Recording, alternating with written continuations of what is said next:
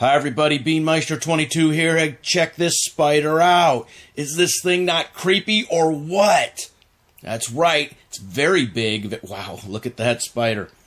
This is a spider from the Arava Valley on the border of Israel and Jordan, and it's also called an Israeli huntsman, and I think the official name is Cerbalus aravaensis which is called an Israeli huntsman. It's easier, but look at this thing. It doesn't look like a huntsman spider. It looks like a big, scary Harry Potter looking spider, but wow.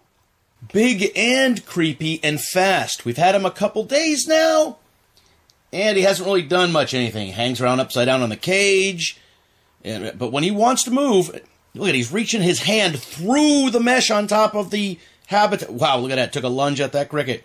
He's fast when he wants to be, as all huntsmen are.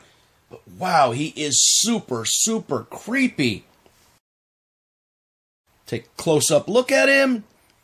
Wow, look at that. It's like I said, he's reaching on through the cage. These things can get up to a six inch leg span. You know, the size of your hand running around the place. Talk about creepy. Could you imagine just running across your wall, your ceiling, bedroom floor, up across the bed, and then up the other wall?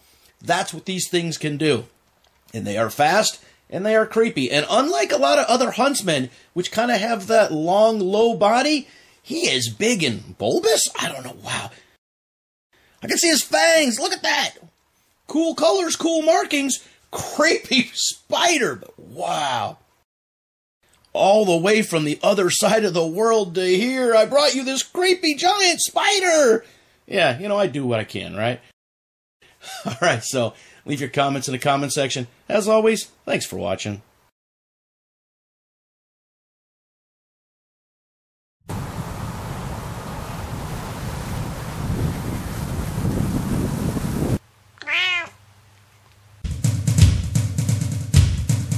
Beanmeister 22, the most dangerous man on YouTube.